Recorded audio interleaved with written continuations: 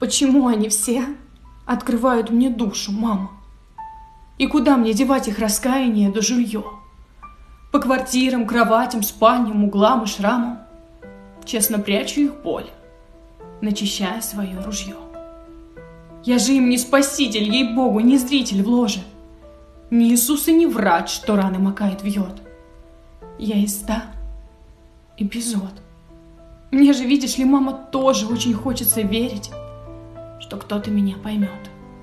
Что возьму я взамен их потрепанной жизнью речи, где струится капель на мой обветшалый сапог? Я им душу и слог, а они мною тушат свечи.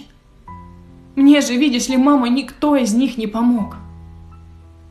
Им неведомо знать, что я тысячу раз погибала, поджигая их лед и не требуя быть в долгу.